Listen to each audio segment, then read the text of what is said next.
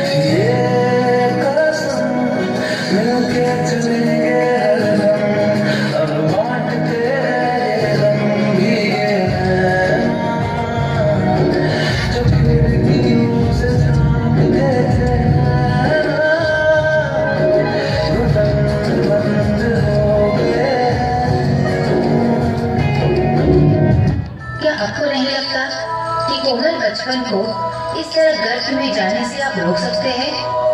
देश के सुरक्षित भविष्य के लिए वक्त आ गया है।